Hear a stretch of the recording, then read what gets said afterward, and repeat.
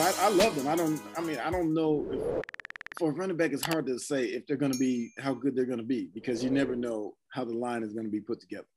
You never know. You never know the situations that they're going to be put in. But but once he got going, once he finally got the, the plan and and and, and they got rid of Car- Carlos Hyde because he was Yep. starting before, right? Yep. Um, that's when he got the plan and being the guy.